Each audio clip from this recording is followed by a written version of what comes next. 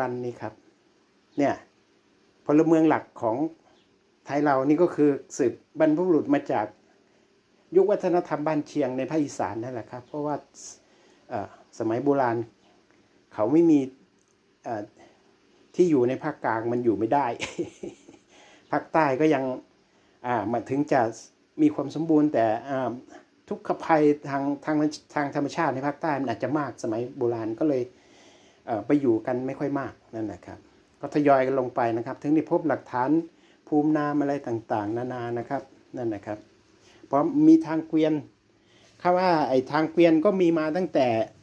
คิดว่าทางเกวียนเขาสร้างเกวียนเนี่ยตั้งแต่สามพันปีที่แล้วคงมีเกวียนแล้วครับ มีมีทางเกวียนบริเวณนี้แล้วครับ คิดว่านะอ่าเขามีทางเกวียนแล้วเพราะชื่อเกวียนชื่อเกียน ชื่อเกวียนเนี่ยชื่อระแทะเนี่ยมัน